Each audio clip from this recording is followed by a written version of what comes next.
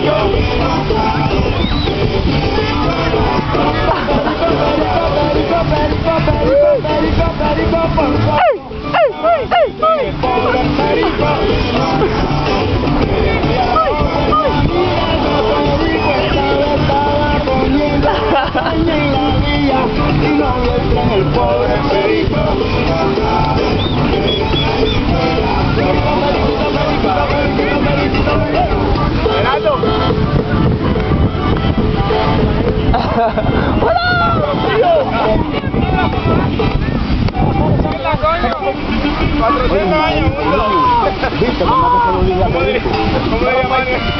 Sexy man.